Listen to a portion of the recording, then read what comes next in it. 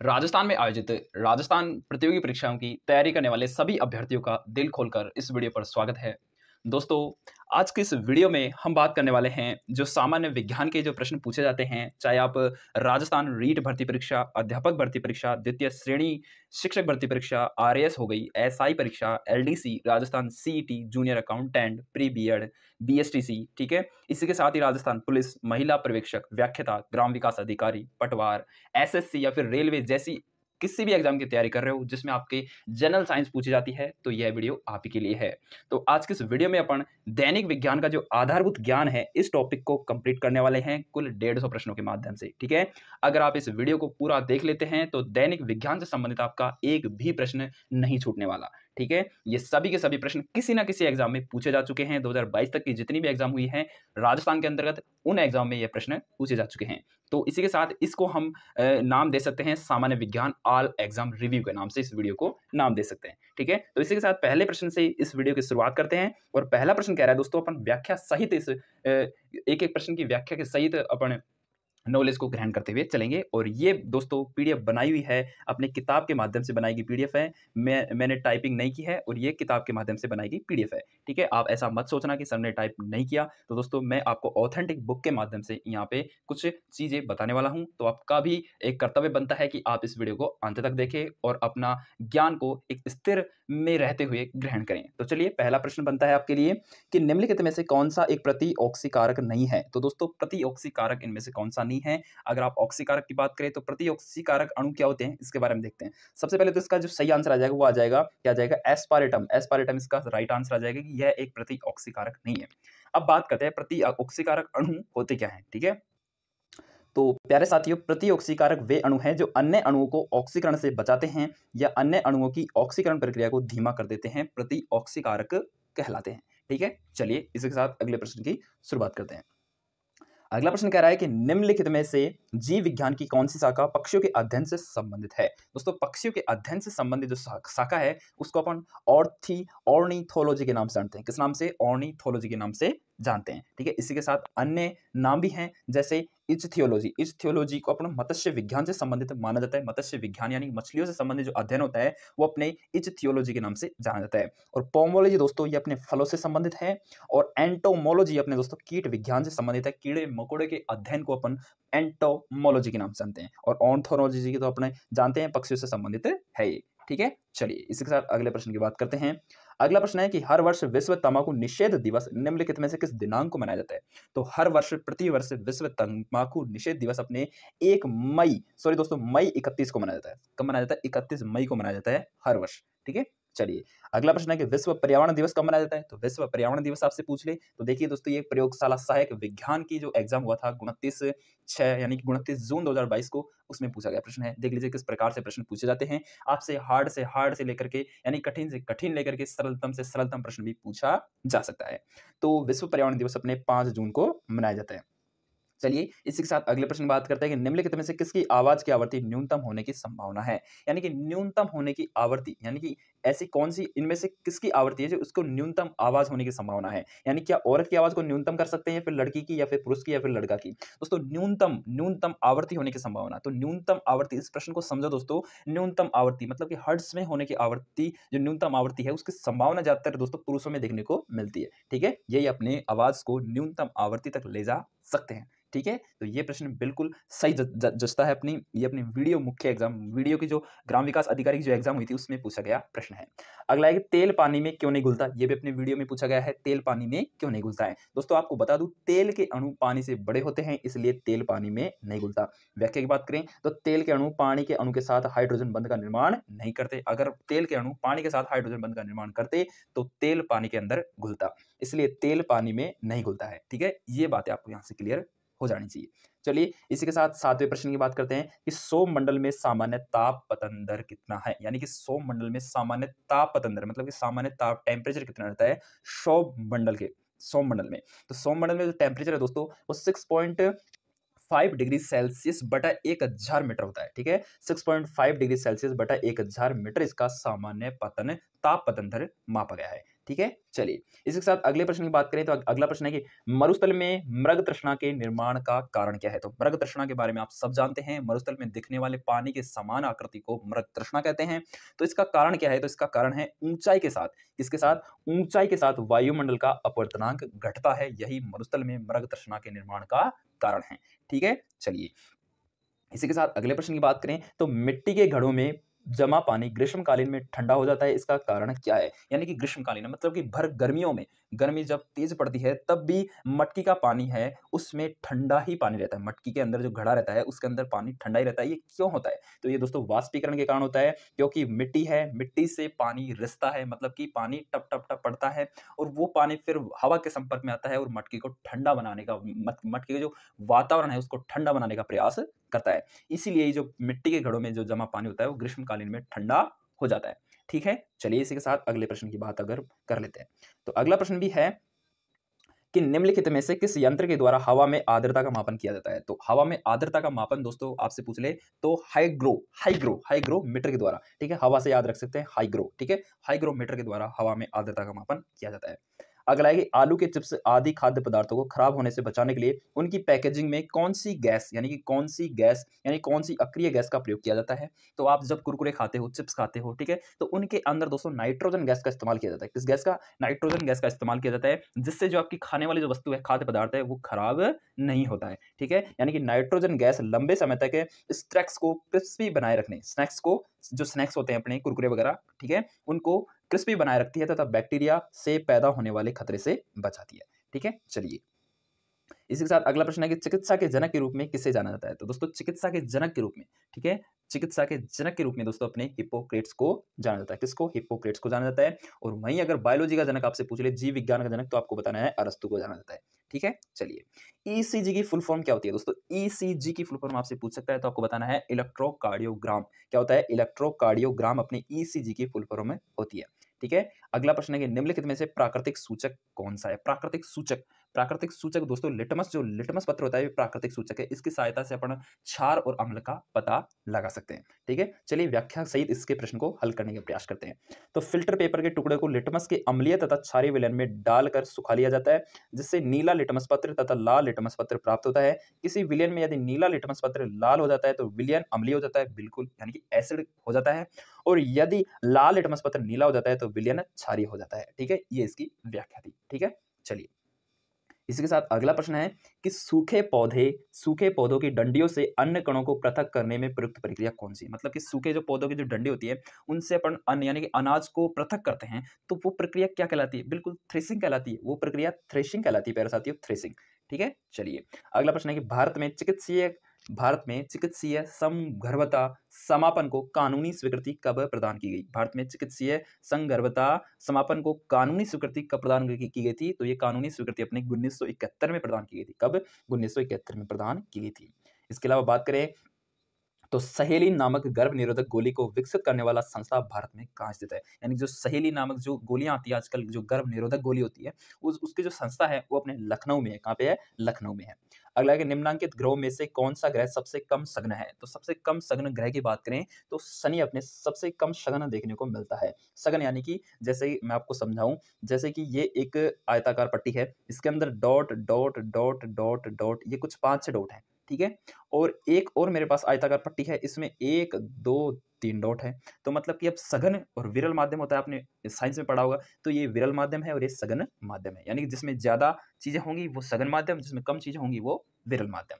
ठीक है? चलिए, इसी के साथ अगले अगले प्रश्न की बात करें। अगला प्रश्न है कि निम्नलिखित में से कौन सा सौर परिवार का सदस्य नहीं है? तो सौर परिवार का सदस्य तो आप सबको पता है, सौर परिवार का सदस्य में से कौन सा नहीं है? भाई शुद्ध ग्रह आते हैं, उपग्रह आते हैं धूमकेतु आते हैं, लेकिन उल्काएँ इसके अंतर्गत नहीं आती, उल्काएँ अलग होती हैं, अलग से आती हूँ। ठीक है? निम्नलिखित में से श्लेष, श्लेषित संश्लेषित सूचक कौन सा है? तो संश्लेषित सूचक की बात करें तो फिलोपथिलिन है। कौन सा है? फिलोपथिलिन संश्लेषित सूचक है, या इसको हम कृत्रिम सूचक के नाम से भी जान सकते हैं। और अभी हमने बात की थी प्राकृतिक सूचक कौन सा है? तो प्राकृतिक सूचक लिटमस है। और जो फ्लोक्तनिन है, वो अपने कौन सा है? ये अपने संश्लेषित सूचक है, यानी कि कृत्रिम सूचक के नाम से इसको जान सकते हैं।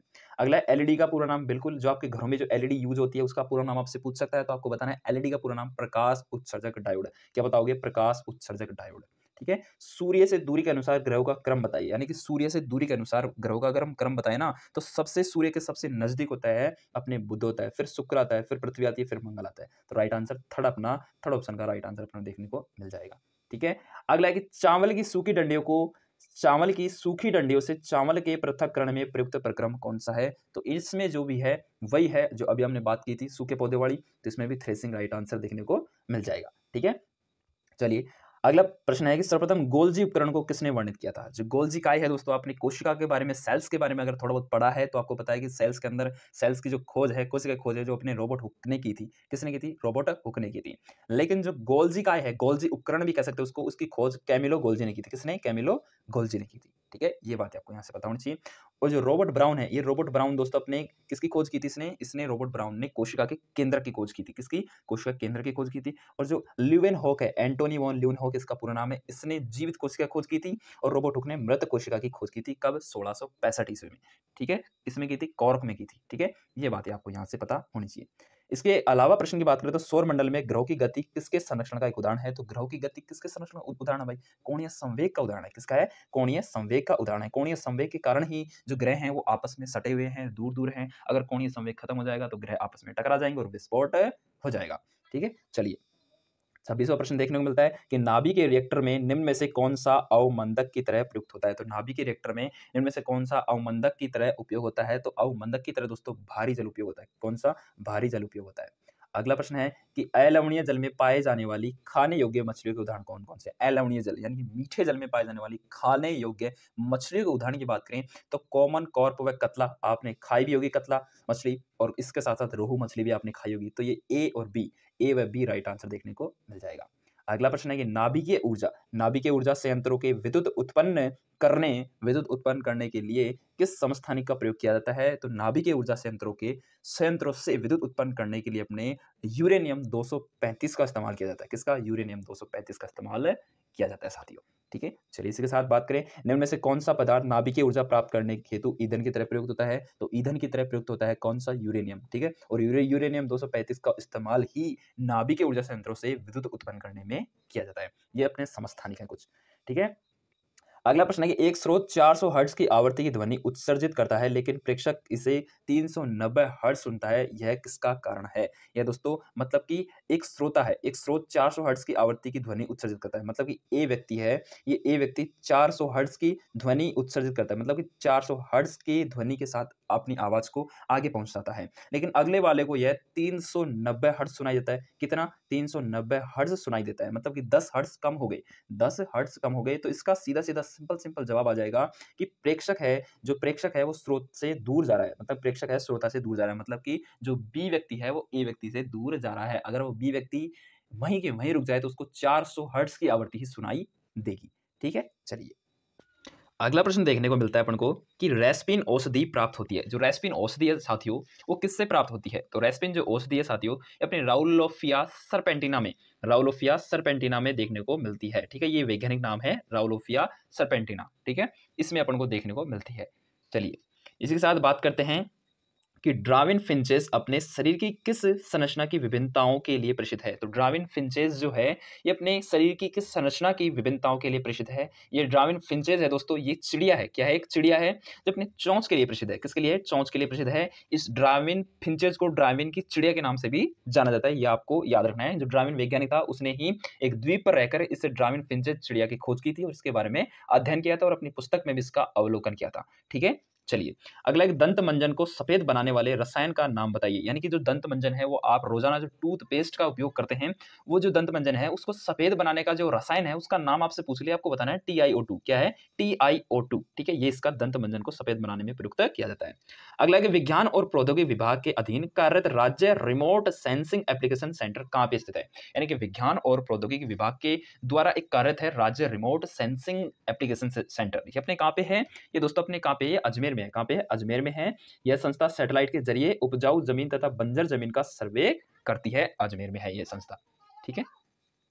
इसी के साथ बात करें अगले प्रश्न के निम्न को मिलाइए। तो पटवार एग्ज़ाम में पूछा गया प्रश्न है और निम्न को मिलाना है। तो अपन आसानी से मिला सकते हैं। कैसे मिलाएँगे? देखिए, और ये अपने प्रथम चरण में पूछा गया प्रश्न है। तेईस दस दो को पूछा गया प्रश्न है। ठीक है? नवंबर में पूछा गया था। ठीक है? नवंबर नहीं, अक्टूबर में। ठीक है? तो इसके बारे में बात करें प्यारे साथियों तो आपको बताना है एपीकल्चर तो एपीकल्चर आप सबको पता है एपीकल्चर किससे संबंधित है? तो एपीकल्चर बिल्कुल अपने मधुमक्खी पालन को एपीकल्चर कहते हैं। और सिल्वी कल्चर, ये अपने सिल्वी कल्चर अपने किसको कहते हैं? अरे सिल्वी कल्चर अपने वन संवर्धन को कहते हैं, ठीक है? और वर्टिकल्चर ये अपने अंगूर की खेती को कहते हैं। सीधा सीधा जवाब है, यानी कि पहले का दो, बी का तीन और सी का एक तो राइट आंसर फोर्थ नंबर का देखने को मिल जाएगा। चलिए इसी के साथ अगले प्रश्न की बात करते हैं। तो अगला प्रश्न देखने को मिलता है कि समुद्र विज्ञान का जनक कौन है? बिल्कुल, मोटर वाहन एग्ज़ाम में पूछा गया है। मोटर वाहन उप निरीक्षक एग्ज़ाम 2022 में पूछा गया है कि समुद्र विज्ञान के जनक कौन है भाई? बिल्कुल, ऐसे प्रश्न पूछे जा सकते हैं आपसे। तो आपको क्या बताना है? आपको बताना है होम्यथ्यू मोरे।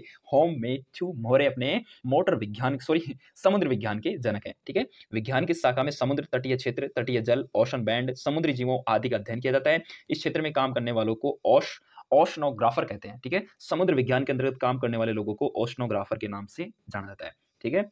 अगला है कि पहाड़ पर चढ़ता हुआ व्यक्ति आगे की ओर क्यों झुक जाता है? तो पहाड़ पर चढ़ता हुआ व्यक्ति आगे की ओर स्थायित्व बढ़ने के कारण बढ़ने के कारण। स्थायित्व बढ़ाने के लिए, अपना स्थायित्व बढ़ाने के लिए आगे की ओर झुक जाता है। अगर वो सीधा रहेगा और सीधा ही पहाड़ पे चढ़ेगा तो गिरने की संभावना 99.99 परसेंट बढ़ जाती है। अगर वो आगे की तरफ़ झुक कर चलेगा तो अपना स्थायित्व बनाए रखेगा, अपनी स्टेबिलिटी बनाए रखेगा और इसी के साथ वो आगे की तरफ़ बढ़ेगा, ठीक है? यानी कि जब हम पहाड़ पर चढ़ते हैं तो हमारा गुरुत्व केंद्र आगे की ओर बढ़ जाता है। इसे संतुलित करने के लिए हमें भी आगे की ओर चलना पड़ता है। नहीं तो हम अपना संतुलन खो सकते हैं और नीचे पहाड़ से गिर सकते हैं और अपनी हड्डी पसली टूट सकती है। कितने परसेंट? 99.99 परसेंट चांसेस ठीक है? तो अपन को आगे की ओर झुककर ही चलना होगा अगर आप पहाड़ की ओर चढ़ाई कर रहे हो तो ठीक है? चलिए, अगला सी एस आई आर का केंद्रीय इलेक्ट्रॉनिक अभियांत्रिकी अनुसंधान संस्थान जिसको अपन सीरी के नाम से जानते हैं, वो कहाँ पे है? तो सीरी अपने कहाँ पे साथियों? अजमेर में है। कहाँ पे? अजमेर में है। इसकी स्थापना उन्नीस सौ तिरपन में हुई थी तथा वास्तविक कार्यालय उन्नीस सौ अट्ठावन से शुरू हुआ था। यह मुख्यालय अर्ध चालक युवतियों, ठीक है? अर्धचालक युक्तियों, इलेक्ट्रॉनिक प्रणाली तथा इलेक्ट्रॉनिक नालिकाओं से के क्षेत्र में शोध करने के लिए कार्यरत है, ठीक है? इसी के साथ अगला प्रश्न है कि राजस्थान में विज्ञान एवं प्रौद्योगिकी विभाग किस वर्ष स्थापित हुआ था? तो राजस्थान में विज्ञान एवं प्रौद्योगिकी विभाग है। अपने दोस्तों, उन्नीस सौ तिरासी में, उन्नीस में नाइनटीन में अपने राजस्थान में विज्ञान एवं प्रौद्योगिकी विभाग की स्थापना हुई थी। अगला वैक्सीनेशन शब्द एक लेटिन शब्द से प्रयुक्त उत्पन्न हुआ है, जिसका अर्थ क्या होता है? पटवार 2021 में पूछा गया था, क्योंकि उस समय अपने अपने कोरोना की महामारी चल रही थी और उस समय ये प्रश्न पूछा गया था। तो जो वैक्सीनेशन शब्द का जो सही आंसर, जो अर्थ होता है, वो है गाय से संबंधित वैक्सीनेशन, ठीक है? गाय से संबंधित है वैक्सीनेशन। इसी के साथ अगला प्रश्न है, प्यारे साथियों, की अंतरराष्ट्रीय मात्रक पद्धति में पास्कल किसका दाब पास्कल किसका मात्रक है? तो भाई पास्कल तो किसका होगा? पास्कल दाब का है। किसका है, प्यारे साथियों? पास्कल दाब का मात्रक है, ठीक है? पास्कल दाब का मात्रक है अंतरराष्ट्रीय अंतरराष्ट्रीय मात्रक पद्धति में, ठीक है? तो इस प्रकार से कुछ सात मूल राशियों में इनके मात्रक, दो पूरक राशियों में इनके मात्रक भी विद्यमान है। जैसे लंबाई का मात्रक मीटर है, द्रव्यमान का किलोग्राम है, समय का सेकंड है, विद्युत धारा का एम्पियर है, ताप का कैलविन है, ज्योति तीव्रता कैंडला पदार्थ की मात्रा का मोल है, ठीक है? इसी के साथ जो पूरक मात्रक है वो समतल समतल कोण का रेडियन है और ठोस कोण का क्या है? स्टेरेडियन है। ये बात आपको यहाँ से पता होनी चाहिए, कुछ बातें ऐड और हो गई हैं, ठीक है? चलिए, अगला प्रश्न देखने को मिलता है कि भारत का प्रथम देसी विकसित डीएनए प्लाज्मिड टीका कौन सा है? तो भारत का प्रथम देसी विकसित डीएनए प्लाज्मिड टीका आपसे पूछ ले तो बताना है जा, जाइकोवा, जाइकोव डी। क्या है? Zycov D. अपने भारत का प्रथम देसी विकसित डीएनए प्लाज्मिड टीका है, ठीक है? जो अपने जो अपने कोरोना काल के समय काम आया था। ब्लीचिंग पाउडर का इस्तेमाल नहीं होता। किसमें नहीं होता भाई? ब्लीचिंग पाउडर का इस्तेमाल। भाई, ब्लीचिंग पाउडर का इस्तेमाल अपने कागज़ उद्योग में होता है, सर। क्लोरोफॉर्म बनाने में होता है। और पेयजल को कीटाणु रहित करने में होता है, ठीक है? लेकिन लेकिन खाद बीजों को परीक्षित करने के लिए नहीं होता। मतलब खाद जो बीज होते हैं, खाद बीज होते हैं, उनको सुरक्षित, परिरक्षित या उसको कीटों से बचाने के लिए इसका इस्तेमाल नहीं होता, ठीक है? अब ब्लीचिंग पाउडर के बारे में थोड़ी बहुत और जानकारी जान लीजिए। ब्लीचिंग पाउडर का जो रासायनिक सूत्र है वो है सी ए सी एल ओ टू, ठीक है? इसे कैल्शियम हाइपोक्लोराइड भी कहते हैं। चौवालीसवा प्रश्न है कि विश्व गोरैया दिवस कब मनाया जाता है? तो विश्व गोरैया दिवस आपसे पूछ लेता हूँ, बताना है 20 मार्च को विश्व गोरैया दिवस मनाया जाता है उप समादेष्टा एग्ज़ाम तेईस आठ दो में। पूछा गया इंपोर्टेंट प्रश्न है। अगला प्रश्न है कि निम्न में से भारत के पशुधन एवं पोल्ट्री के नए पहचाने गए जर्म प्लाज्म के पंजीकरण की नोडल एजेंसी कौन सी है? तो भारत के पशुधन एवं पोल्ट्री के नए पहचाने गए जर्म प्लाज्म के पंजीकरण की नोडल एजेंसी के बारे में आपसे पूछ रहे तो बताना National Bureau of Animal Genetic Research Karnal, ये अपने कहाँ पे है? करनाल, और करनाल कहाँ पे है? हरियाणा में, ठीक है? चलिए, इसी के साथ अगले प्रश्न की बात कर लेते हैं, सर। अगला प्रश्न देखने को मिलता है अपन को, सर, कि वातावरणीय प्रदूषण को रोकने के लिए भारत सरकार ने पर्यावरण संरक्षण अधिनियम कब पारित किया था? तो वातावरणीय प्रदूषण को रोकने के लिए भारत सरकार के द्वारा यह कार्यक्रम चलाया गया था उन्नीस सौ छियासी को। ठीक है, उन्नीस सौ छियासी को, ठीक है, उन्नीस को और उन्नीस में अपनी, अभी भी बात की थी उन्नीस में क्या हुआ था तो राजस्थान में विज्ञान एवं प्रौद्योगिकी विभाग की स्थापना हुई थी, ठीक है? चलिए, इसी के साथ अगले प्रश्न बात करें तो विषाक्त पदार्थ की सांद्रता में प्रत्येक ट्रैफ़िक लेवल पर वृद्धि कहलाती है, जो विषाक्त पदार्थ होते हैं, उनकी सांद्रता में ट्रैफ़िक लेवल पर वृद्धि होती है ना, यानी फ़ूड पॉइजनिंग वाले जो पदार्थ होते हैं, उनको जैव आवर्धन कहते हैं। क्या कहते हैं? जैव आवर्धन कहते हैं, उनमें बढ़ोतरी को जैव आवर्धन के नाम से जाना जाता है। अगला, केंद्रीय खाद्य प्रौद्योगिक अनुसंधान कहाँ पे है? केंद्रीय खाद्य प्रौद्योगिक अनुसंधान संस्थान आप कह सकते हैं तो मैसूर में है। कहाँ पे है? मैसूर में। ठीक है? चलिए भाई, हवा की चाल नापी जाती है। तो हवा की चाल नापी जाती है। किसमें यानी हवा की चाल नापने वाला यंत्र आपसे पूछ ले तो आपको बताना है, एनीमोमीटर। क्या है? एनीमोमीटर हवा की चाल मापने वाला यंत्र है। अगला जल जो जल है, वाटर है, उसका क्वथनांक कितना होता है? तो जल का क्वथनांक कितना होता है? ये होता है 212 फोरेनहाइट। कितना होता है? वह ताप जिस पर किसी द्रव का वाष्प दाब, वायुमंडलीय दाब के बराबर हो जाता है, उस ताप को, उस उस ताप को द्रव का क्वथनांक कहते हैं। जल का क्वथनांक 100 डिग्री सेल्सियस या 212 हाइड होता है, ठीक है? यानी कि 212 हाइड को ही 100 डिग्री सेल्सियस बराबर मापते हैं। ठीक है? चलिए तो ये कुछ पचास प्रश्न हो गए हैं। लगभग मैं आपको डेढ़ सौ प्रश्न और करवाऊँगा। बस आपको क्या करना है, आज के लिए तो इतना ही। आपको क्या करना है दोस्तों, आपको करना है इस वीडियो को लाइक और लगभग इस वीडियो पर दोस्तों पचास से ज़्यादा व्यूज़ आ जाएँ तो मैं आपके लिए सेकंड पार्ट बना दूँगा और आपको इस वीडियो को लाइक करके किसी एक अपने मित्र के साथ इस वीडियो को साझा करना है, ताकि उसको भी इसका लाभ मिल सके, ताकि मुझे पता चल सके हाँ आपको इंटरेस्ट है पढ़ने में। तो मैं एक और नया पार्ट बना दूँगा, जिसमें अपन पूरे डेढ़ प्रश्नों को जो रह गए प्रश्न हैं, उनको सौ प्रश्न रह गए, उनको एक साथ कवर कर लेंगे। अगर आप इस वीडियो को पचास व्यूज़ से ज़्यादा पहुँचा देते हो, ठीक है? तो मेरा सपोर्ट करने की आपसे गुजारिश है कि मुझे ज़्यादा ज़्यादा सपोर्ट करने की कोशिश करें। आपका छोटा मित्र के नाते, बड़ा मित्र के नाते या फिर बड़ा भाई के नाते, ठीक है? थैंक यू, धन्यवाद।